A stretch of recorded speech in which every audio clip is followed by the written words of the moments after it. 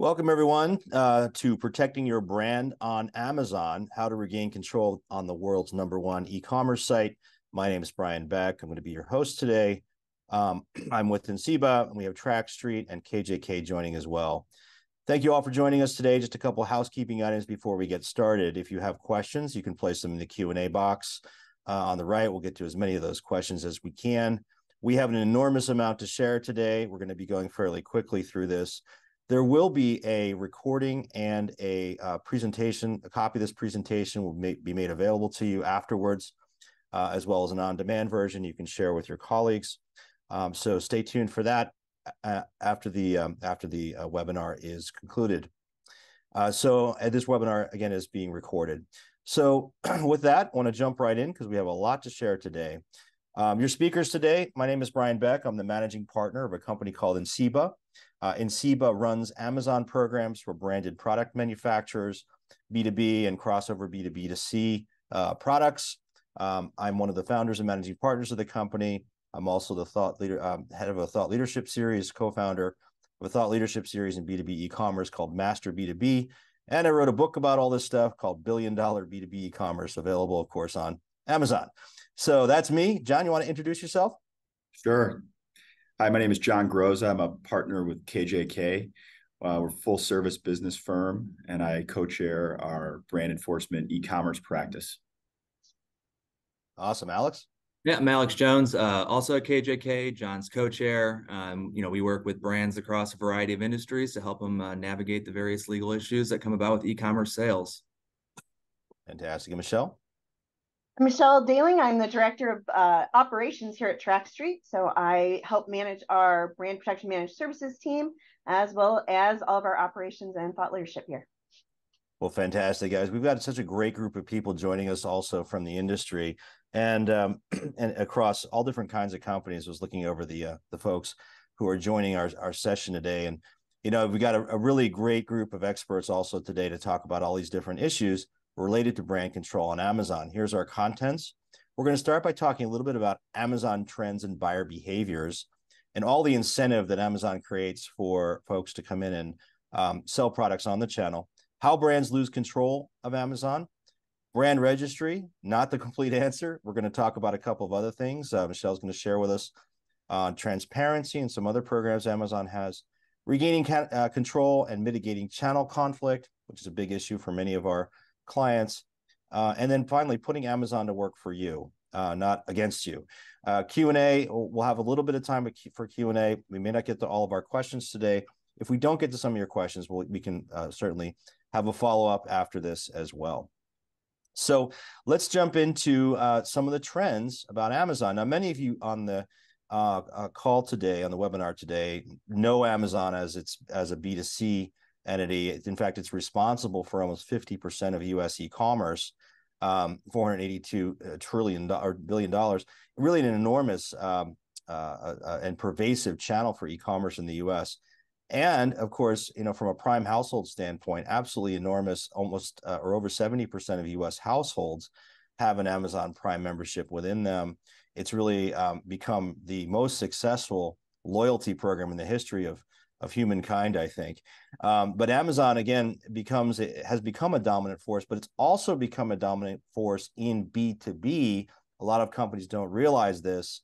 Amazon uh, Amazon's CEO Andy Jassy finally spoke about this in an earnings release in in April, where he said they're just scratching the surface in B two B at thirty five billion dollars in revenue. So just as much as Amazon has become a force in B two C, they are here in B two B many of our folks on the call or on the webinar today uh, are are B2B companies. So as we think about, you know, the same kind of dynamic shifts that have occurred in B2C, it's coming and it really is here in B2B. And what's driving a lot of this is today's buyers are in fact Amazon natives. In fact, um, 60% of millennials now say that Amazon is their most preferred shopping channel, bar none. Two thirds of millennials are making half or more of their online purchases on Amazon almost 100% use it for at least part of their online shopping. And from a B2B perspective, these millennials, those born between 1980 and 2000, will be 75% of the global workforce by 2025 in just two years. And these folks are moving into B2B procurement roles. So this is the point we're making here is this is not just about consumers anymore. It's also about the B2B buyer. Um, and so, you know, companies have to be aware of this. Now, this is the question. Do you know who all of the resellers are who are selling your products today on Amazon? I'm going to pop a quick poll here and you can answer this. I would like you to answer this question. Let me get to my polls quizzes here and launch this. Hang on. So go ahead and go ahead and share your answers here. Do you know all the resellers that are sell your, selling your products on Amazon? Yes or no? I'm going to share the results here. We're getting them in. Uh, we get about halfway there. Keep going, guys. Hit those buttons. 70% of you. Keep going, keep going, keep going. I'll give you another five seconds or so. Um, we did a study on this at Enceiba where we pulled several hundred manufacturers and asked this question, and I'll show you the answers there as well. Give you just one more second to type in your answers. You're almost there. Still see a few coming in. Um, and you know, the fact of the matter is, a lot of folks don't. And let me share the results of this poll here. What you just voted on, 91% of you on this call do not know who all the resellers are that share your that sell your products on Amazon. And when we did this poll in um, uh, and broadly across several hundred manufacturers, we found a similar result. We asked the question, are resellers selling your products on Amazon? Almost 70% said yes. Do you know who all these resellers are? Over 70% said no. Over 90% of you on the webinar today said said no. And this causes or can cause um, what's called channel conflict. Now, this is uh, I use this uh, this this world source of, of, of intelligence, Wikipedia, for a definition here. Channel conflict occurs when manufacturers, brands, most of you on this call, disintermediate their channel partners, such as distributors, retailers, dealers, and sales representatives by selling through their products directly to buyers through general marketing methods and or over the internet. I like to extend this definition to include Amazon resellers because when you don't have control of Amazon in terms of who's selling your product there, it can cause channel conflict just as much as you selling directly potentially can cause uh, channel conflict. So you've got all these folks out there you don't know. The way they often compete is on price. They drop the price because it's the only uh, really differentiation they have as a company. So this is a real issue. And our goal today is to give you some tools and tactics to address it. So with that, we're going to talk about how losing control happens. And uh, we're going to turn this over to Jon for an example. Jon at KJK. Jon, you want to hop in here? Sure. Yeah. Thanks, Brian. Um, so what we have here is an example, um, very typical to what we often see when helping our clients with these issues. We have a premium brand, Cascade, uh, and then we have an example of, of a couple what we call unauthorized resellers. Um, we have NB Things. Chances are this company doesn't specialize in selling dishwasher soap. They probably sell whatever they get their hands on. And as Brian stated, the only way they can differentiate themselves is through um, you know advertising that for a, a, probably a very low price or a lower price than you'd like to see as the brand and um, so who are these that they have oftentimes not consistent or low um, customer rankings as you can see here with nb things as well as this god is perfect example um, unauthorized resellers are brands you often as we've seen from the poll result don't know they are leveraging your brand infringing on your intellectual property rights your trademarks and your copyrights they are oftentimes damaging your relationships with your authorized distribution channels, your authorized resellers, and they're cutting into your profit margins. These are brands you have no control over the over these entities. Uh, we have no oftentimes no visibility as to how they're storing your products, how they're shipping your products, um, or whether these products are even the legitimate article. So they can be ex- extremely problematic, and um, you know we have clients who have a few very disruptive ones or even hundreds of disruptive resellers depending on the product the price points. Yeah yeah no no no question jon. It's good that's a great example. So alex you want to you want to talk a little more about how this how the how does this actually happen? Yeah. Thanks brian. Um when we work with clients basically the main thing that we see when you have a, a brand that has you know dozens if not hundreds of unauthorized sellers on a listing it's you know, we come to find out they don't have a good control over their supply chain. And, and what do I mean by that?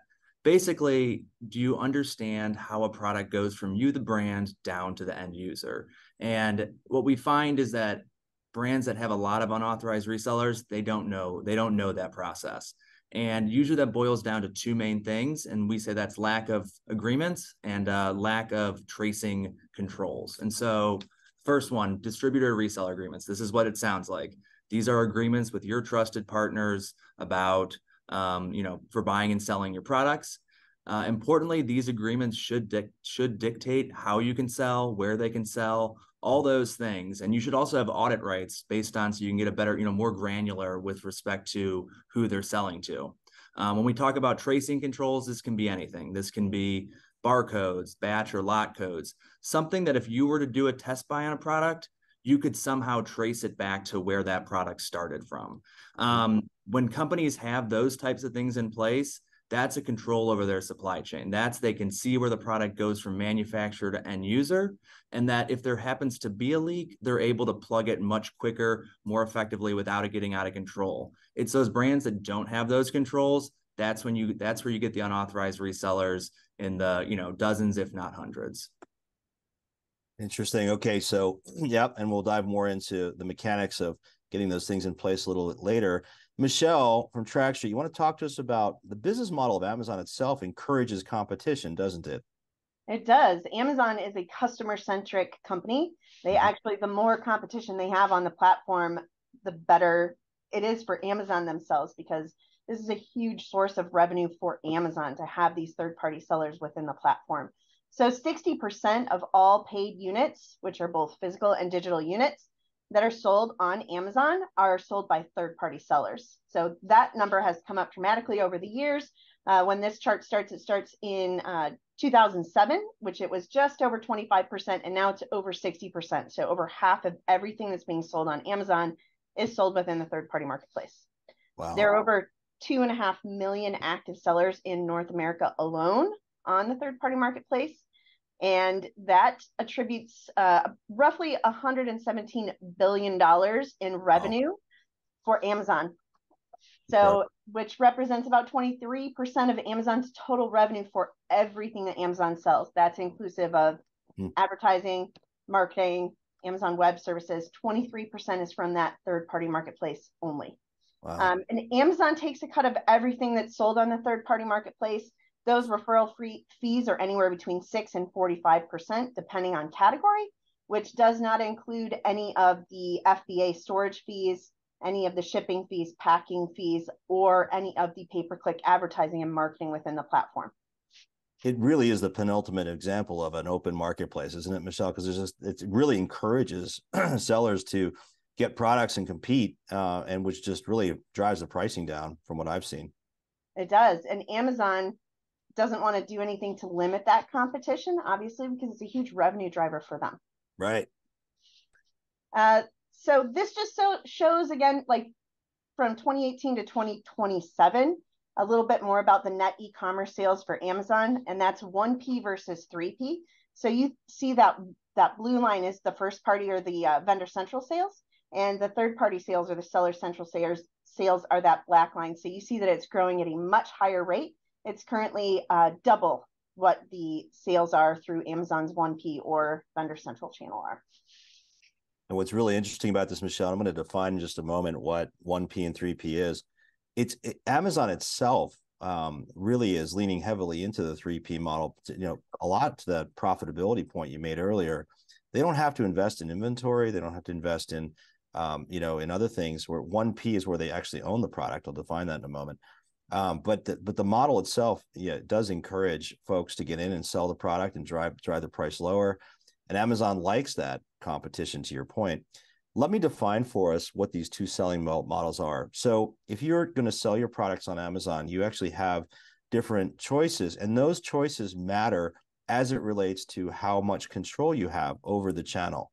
There's two ways to sell your, in, in the simplistic, most simple terms, there's two ways to sell your products on Amazon. Vendor Central, 1P or first party. There's three names for it, of course. um, this is where you sell your product like you would a traditional to a traditional um, buyer, distributor, uh, retailer, etc. Where you're selling directly to Amazon on a purchase order. You ship to Amazon's fulfillment center. Amazon owns the product, takes takes title of the product. They put it in their warehouses or fulfillment centers in Amazon speak. Fulfillment Uh, they fulfill the end customer. You have some marketing and merchandising opportunities, but at the end of the day, they own the product. They set the price. Seller Central or third party selling, 3P. In this model, you set up your own storefront as a seller. Amazon still processes the order, but the vendor, you ship the product to the end customer, or you use something called fulfilled by Amazon to make the product prime eligible and then ship it to the end customer merchandising and promotion and marketing opportunities still exist here, but we see many manufacturers moving towards this model, or if they're starting uh, selling directly on Amazon, they're going to start often with the Seller Central model. Why? Principally because you can manage the price that you offer the product for on Amazon. You're setting it, not Amazon in this case. So the, it offers greater control of also product assortment that's offered on Amazon, how much inventory you stock into, Seller Central um, offers the most control you can have in terms of selling on Amazon if you're going to sell directly. Um, and it provides this control. It's your storefront. Um, you have greater uh, control of the assortment, inventory, price, brand content, etc. It's typically more profitable also than the 1P approach. And we have some clients that take a hybrid approach. 1P, 3P are also possible, and potentially you can shift from one pro from 1P to 3P. We've taken a number of companies down that path over our over the last few years. Dynabrade is an example of one of those companies. Uh, Ron Viders, the director of marketing, gave us this quote The Amazon 3P approach is a slam dunk, has helped us to communicate better with our distributors. It helped us to deepen our relationship and become more strategic. They should have done this five years ago. They were a 1P, they moved to 3P um, and have had uh, some nice success with it again we're not this is just one element of channel control but we raise it because it's important to recognize that you know this selling method provides you with uh, with a better opportunity to actually manage the channel effectively. So let's say you're one of those 92% of people on the call today that said they don't know all their resellers. You know, you may feel like you have no control. It's the Wild West. Um, so how do we go about, you know, sort of regaining uh, control? I'm going to turn this over. I think Alex, you're going to start this one. Yeah, thanks, Brian. Sure. So, in, when we're talking about regaining control in this context, what we're really talking about is is getting rid of those unauthorized resellers. It's making sure that your ASINs, your listings, have either either you or your authorized resellers. Um, so that begs the question as to how do you remove these authorized unauthorized sellers? From the legal perspective, our claims in this realm are based on intellectual property law. Um, they are based on the idea that the unauthorized sale infringes on a brand's trademarks, infringes on their copyrights. So, you know, the first thing any brand needs to do is get your intellectual property house in order. Uh, that means register your trademarks, register your tra- copyrights, make sure that you have the ability to um, that you can show that you own these as intellectual property and you have the ability to enforce it. Um, so that way, we're going to make claims like trademark infringement, trademark dilution, unfair competition. Uh, I think it's important to note that our claim is not based purely on the fact that this, the, the reseller is unauthorized. And the reason for that is because of what's known as the first sale doctrine. Um, Brian, if you go to the next slide. Yep. So you, you may have heard of the first sale doctrine. Um, basically, anytime you tell a reseller to stop selling, they're going to come back at you with, no, I can do this first sale doctrine. And at its core, the first sale doctrine basically means that after the first sale, you are allowed to then resell that product and it doesn't constitute trademark infringement. Um, so that is generally correct. That's not a wrong position that resellers are taking.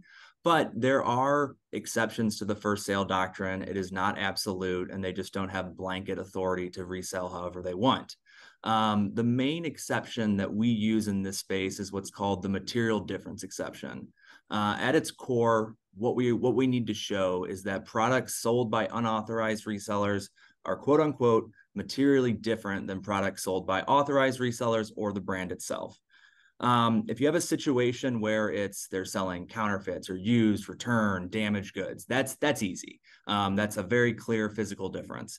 Where I think brands struggle with, and where you know we can assist here, is that this theory also applies to non-physical differences. This theory can be applied to products that are bought from the manufacturer; they are genuine to start, but we're, we're we make the argument that by the time they get to the end user, they are materially different. And the two main avenues going about these non physical differences are quality controls and warranty protection.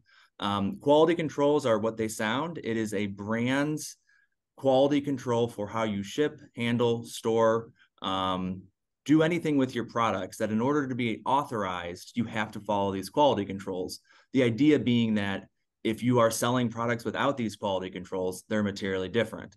Similarly, there's warranty protections. So again, if a product's sold by an unauthorized reseller, it doesn't come with a warranty. If it's sold by the brand itself or an authorized reseller, you get a warranty. So you have a materially different product, one with a warranty, one without. So these quality controls and warranty protections, these should be built into those reseller and distributor agreements that we talked about. That way you can show, hey, I have contractual relations with people that they have to follow these quality controls. You're not following them. Um, a lot of times we also advise our clients to put standalone policies in place. So a standalone quality control policy that's it's out there, it's in the public. It just shows that hey, this is what you have to do in order to become an authorized seller. We also recommend having, you know, a warranty policy that's standalone and it says it makes very clear that hey, in order to get the benefits of this warranty, you have to buy the product from an authorized seller or the brand itself. So when you combine those things, when you have your intellectual property house in order, when you have distributor and reseller agreements that have these quality controls, these warranty policies, and you have all these policies in place, you set the foundation for yourself to be able to go after these author unauthorized resellers to have valid legal claims to get them off the listing. So, you know, once you do that, then you can start trying to go identify and take down those resellers. Hey, Alex, we have a question here from Julian Frere. He said he asked, "What what about money back guarantees or after marketing programs restricted to the manufacturer. Would that would that be part of um, would that be part of it too? Could you create? Yeah, so I'm using warranty here, you know, somewhat colloquially. Um, it's the idea that the product comes with a suite of services. So whether that's like a product guarantee or you know a money back offering, something along those lines. The key here is not so much what you're calling it, but it's that you're offering a suite of services that are only applicable to those products when bought by the brand or its authorized resellers and that suite of services does not come when you are buying from an unauthorized reseller. Got it. Makes sense. All right, Jon, I think you were going to take us through this.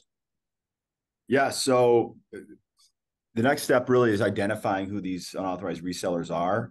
Now, Amazon did change their policy um, in the last couple years to require these 3P sellers to identify themselves to some extent, um, but oftentimes that information is inaccurate uh, or misleading. Um, we have a screenshot here on this slide of a, a typical kind of fly by night reseller where just you know on its face you look at the address you can tell it's it's not legitimate. Um, so how do we go about identifying and determining the actual location and identity of these of these 3P unauthorized sellers?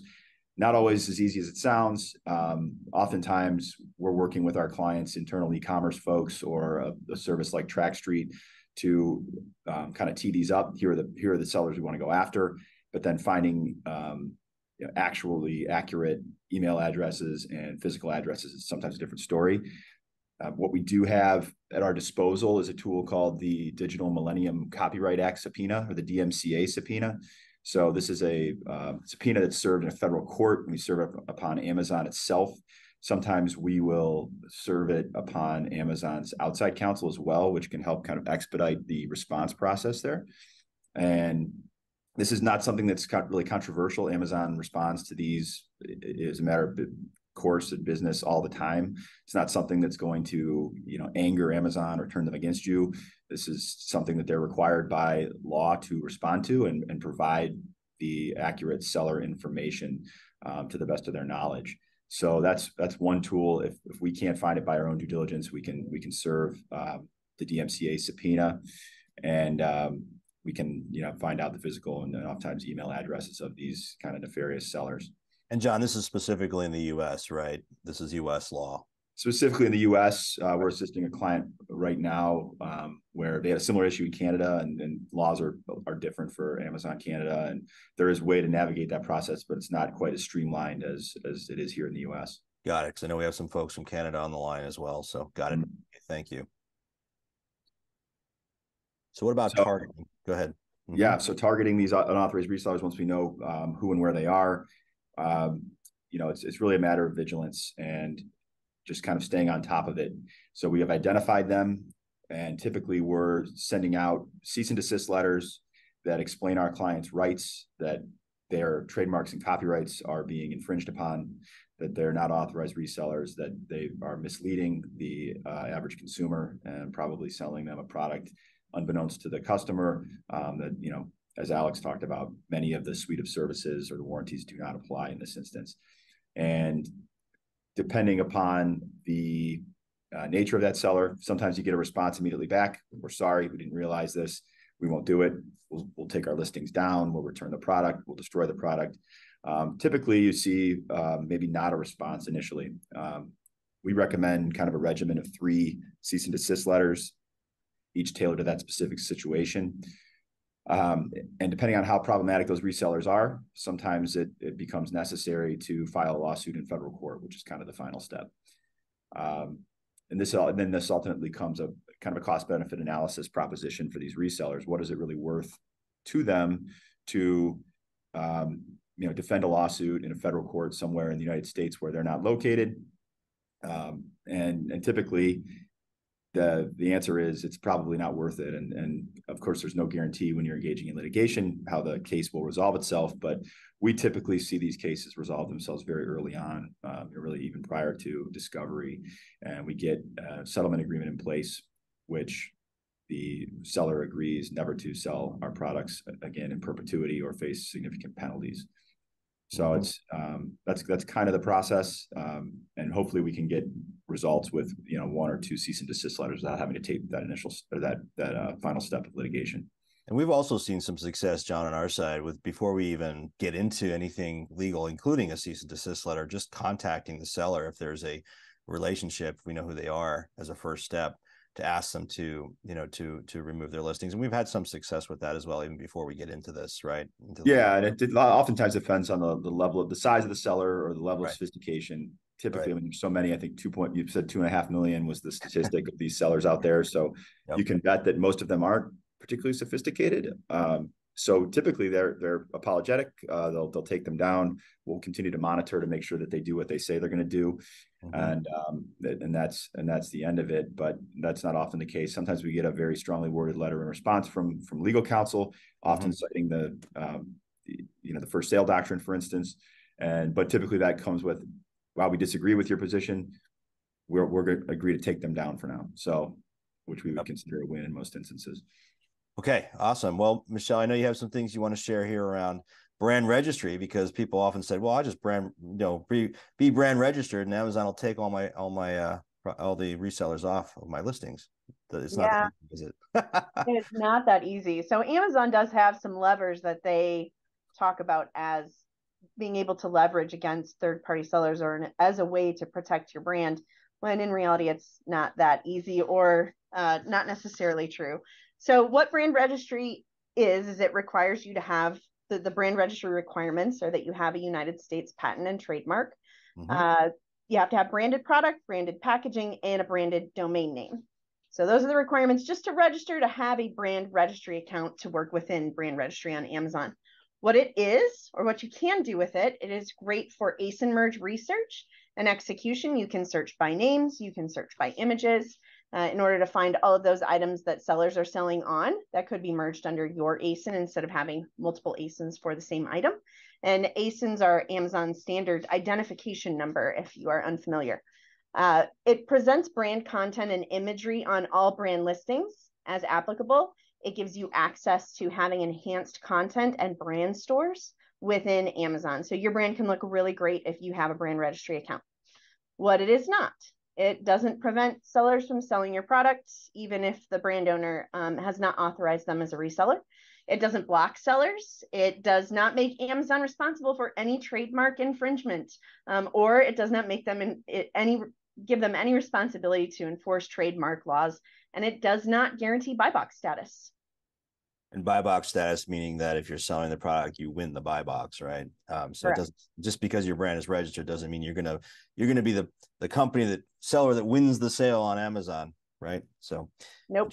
now what is transparency? Tell us about this so transparency is a tool that amazon has where you can actually enroll your products into the tool and amazon will scan it as it comes into and goes out of the warehouse so it gives some visibility to amazon's warehouses um, as to authenticate products that are coming from the manufacturer. It also gives the end user the opportunity to authenticate products as they come to their house.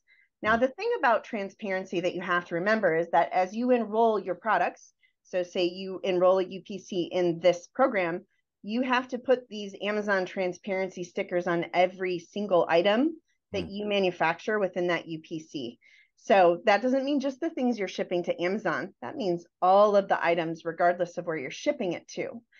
If Amazon finds that you're not putting that sticker on everything, they will unenroll that item from the program. And those stickers that you put on your products cost between one cent and five cents each just to buy the stickers. It does not include printing or applying of those mm-hmm. codes to the products themselves. So there's additional cost to the manufacturer for that. And so do you for, see, yeah, go ahead. I was going to ask you, did you see the main reason for transparency is is really about counterfeit? In other words, making sure the product that's sold is actually the the authentic product of the of the brand. Is that is that the primary use case? Yeah, use case on this is definitely uh, for counterfeits. Got it. Some brands think, oh, I'll just I'll just put my products that I'm selling to Amazon, put the stickers on those, and then Amazon won't accept the other ones, and they think that it's a way to kind of trick the system to be able to make sure that only their products are being sold on Amazon. It doesn't work that way. Ah, gotcha. Okay. Yeah. Well, take us through the steps. Sure. So you enroll your products, you buy your codes, and you apply them on your products. Amazon fulfillment scanners centers scan everything that comes in to ensure that only authentic units are being shipped then back out of the uh, centers to the product to the customers. And that is an actual picture. I downloaded the app a couple weeks ago. My daughter got a birthday gift and i was like oh well let's download the app. So if you didn't uh-huh. know there's a whole app you have to download in order to even scan these codes. I've been mm-hmm. working with amazon for like 10 years. I've never downloaded the app that's exactly what it showed me when I scanned that ah. transparency app. It just said your product is, and then a picture of what the item was. That was that was the whole experience. Interesting. So. Got it. Okay. So, and there's another program here too called Project Zero. What's the, what's this one? So, Project Zero is also uh, designed to reduce fakes and counterfeits within Amazon. And mm-hmm. Amazon has some statistics that they've provided, which is that over 6 million counterfeit goods were removed from Amazon in 2022. Uh, there's some automation that they have around Project Zero, and it's easy to go through and report products that you think could be counterfeit using this program. Um, so it gives the brands opportunities to identify those and have Amazon look into it. You do have to be registered uh, within brand registry. There are ongoing counterfeit checks done by Amazon and by the brand. Uh, enrollment is free. However, some of the pitfalls are if you want to just go in and try and mark every seller as counterfeit, and I've seen brands do this before, like all of this is counterfeit except for what I'm selling, you can lose access to Project Zero. You can lose access to brand registry. Wow. And if you abuse some of these tools within brand registry, you start to lose some of those opportunities. Mm-hmm. If you lose your brand registry account, remember you lose your your Amazon brand store right. you lose the opportunity to create uh, rich content that's customer facing. So if you're going to use these tools, make sure that you're using them legitimately for what they are for, um, not to just try and get rid of anyone that's selling your product on Amazon that is unauthorized. Mm-hmm. Awesome.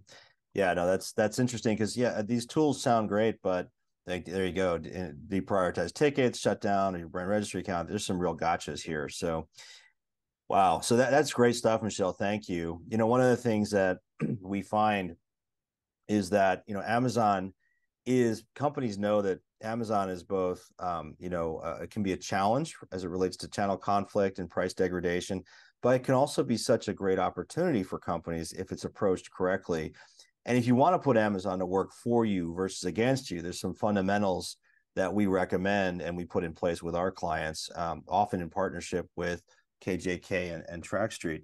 Um, great content is really important on Amazon. So this is true.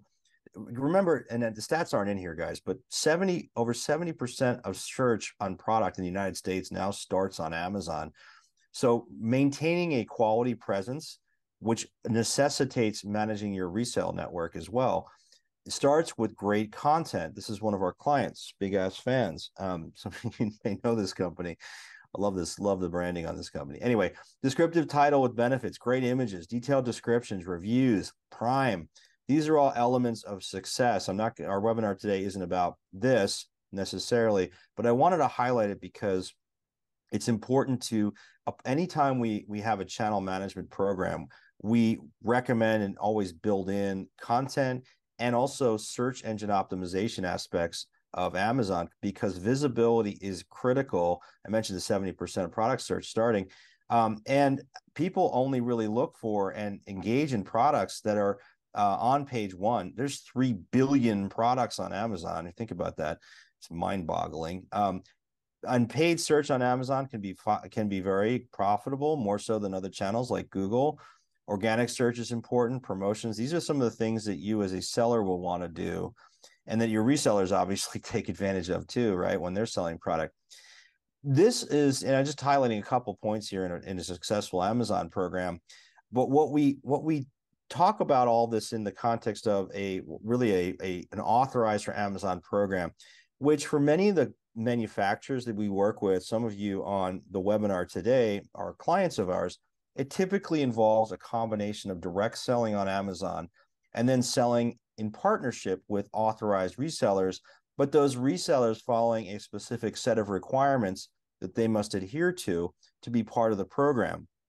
So some of this is documented. You know, we've worked with KJK and Jon and Alex and team to put specific requirements in place around some of these items. Um, for example, I'll list a couple of them here. The, the, the reseller must be holding a, a minimum stock position.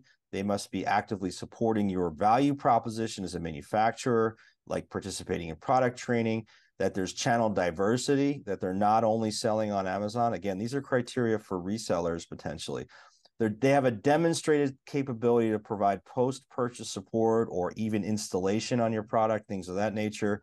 They're committing to advertising. They're agreeing to comply with your map and distribution policies. They're they are demonstrating selling competency on Amazon. We'll often build in a minimum, um, you know, sort of seller rating on Amazon into these uh, programs, uh, at least 90% positive, excuse me. Uh, so there's a whole variety of things here that um, you know that we we recommend including in a authorized for amazon program which again includes often you selling directly as well as some of your resellers a good example of this is our friend trent who's on the webinar uh, today. Hey trent thanks for joining us. Um, uh, trent is vp of, uh, at grasshopper leading digital and marketing there. There if any of you guys know this company their their lawnmowers mow the lawns at the white house and across the country and the world. They have a dealer network. We helped them authorize, implement an authorize for Amazon, oops, authorize for Amazon program, and also selling directly. They have a significantly uh, uh, fast growing Amazon channel selling directly. 70% of their Amazon sales were determined to be purely incremental. So we talk about channel conflict. One of the things that often manufacturers are concerned about once they have control of the channel, if they want to sell directly, they're worried about channel conflict, how I defined it earlier well, in Trent's case, he found that a lot of these sales were happening outside of their traditional dealer base, beyond the reach of their traditional dealers.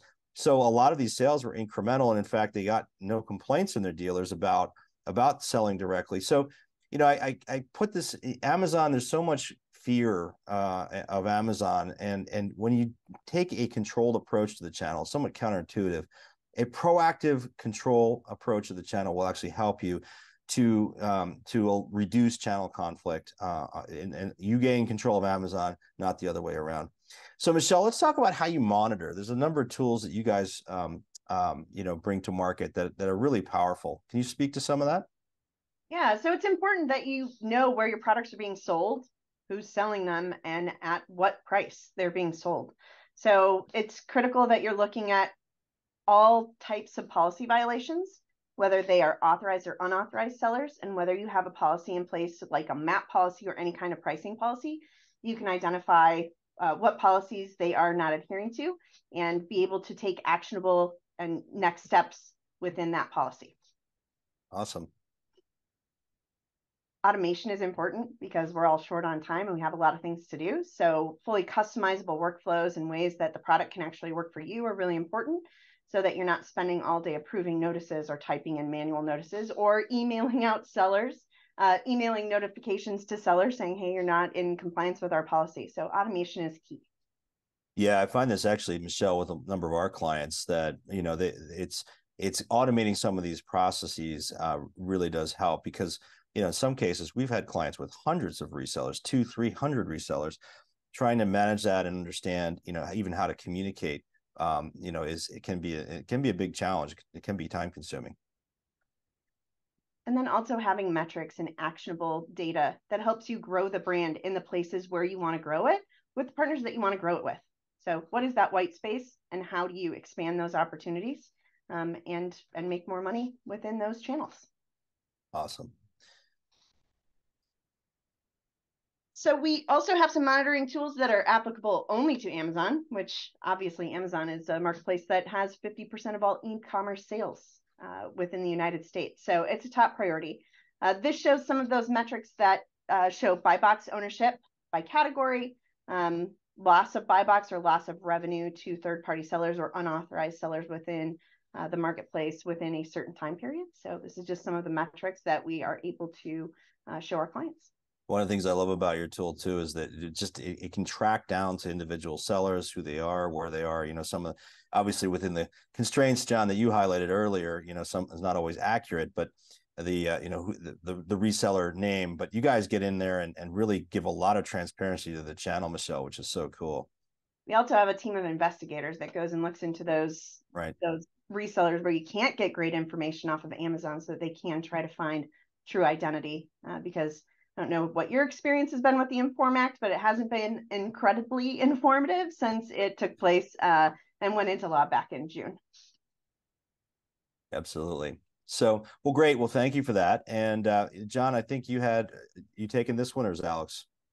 I can. I'll take this one. Um, I think just as we're wrapping up here, we just want to kind of to go over maybe some of the, you know, things to remember, and that it, from our perspective, when, when I was talking about quality controls and warranty policies and reseller agreements, you know, that's kind of a broad stroke of of how you're going to go about doing this. But it's important that you you tailor all those policies specifically to your company, specifically to your policies, specifically to your products. Um, it's not a one size fits all approach. Uh, it really does need to be you know geared towards how you are actually selling and the more tailored it is the stronger your claims are going to be um, i know we saw it we had a question in here about warranty protection on food products yes and like i said this is not it's not a one size fits all approach. Generally speaking, food products you're not going to offer a warranty, um, so you're not going to do that.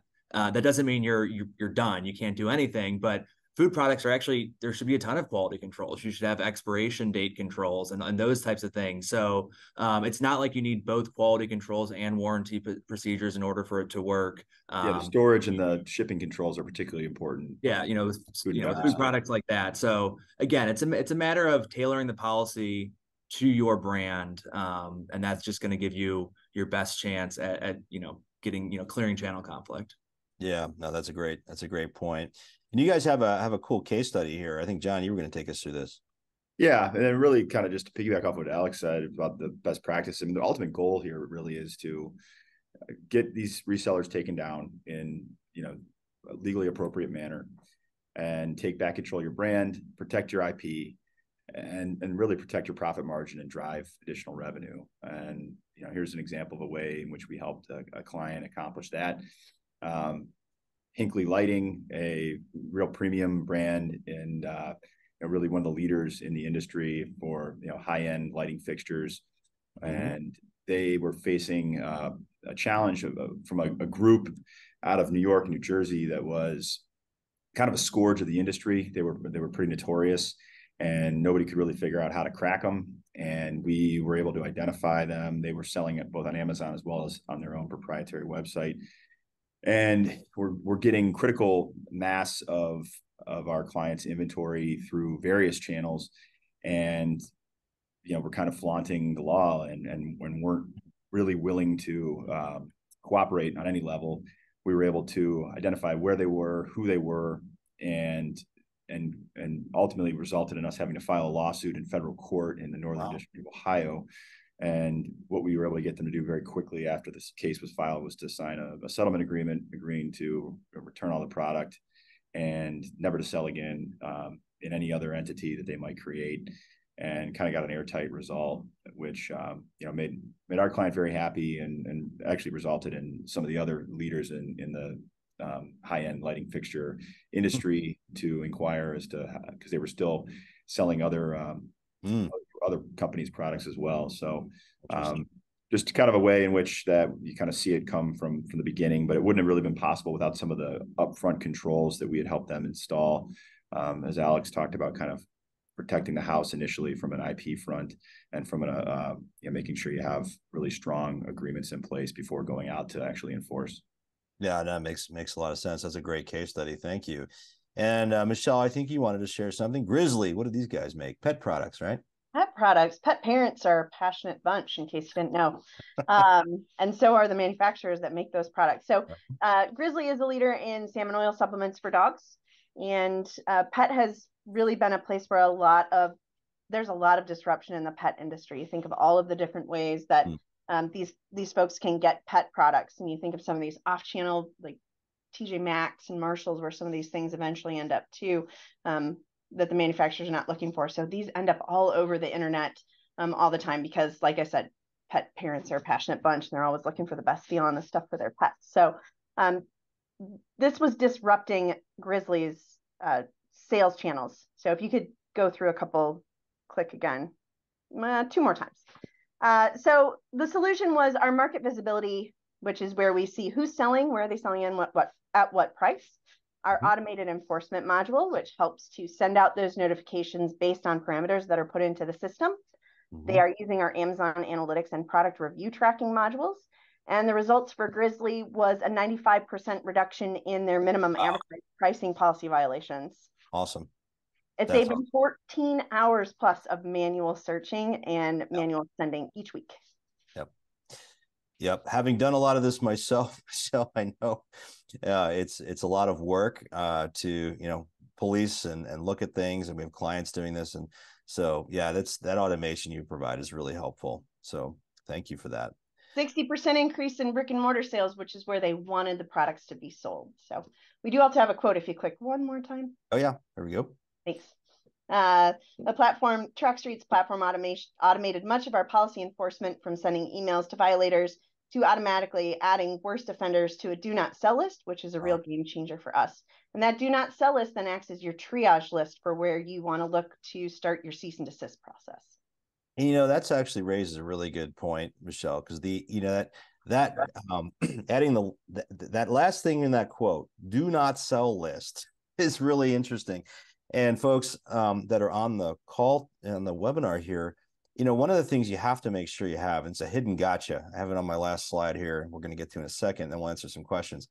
But internal alignment is really important if you're going to do this successfully you have to have the organizational stomach to enforce this. What does do not sell mean? It means you're not going to sell them anymore. Well, what happens if we've got two-step distribution or we have, you know, other folks that are, you know, the other ways they're getting the product? Well, your sales team has to be aligned to your effort here. And which is why I found, and, you know, love to hear from uh, Michelle, Jon, and Alex, you know, and starting making sure that the top level management in your company is behind this effort and is helping to coordinate this your head of sales, your VP of sales, your CEO, people like that.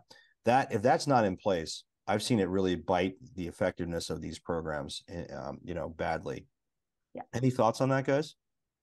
Yeah, really do what you do what you say you do internally, and whether that's a warranty program that's in place, and, and but make sure you're following it because right. that's going to be that's going to become very relevant um, from the enforcement end.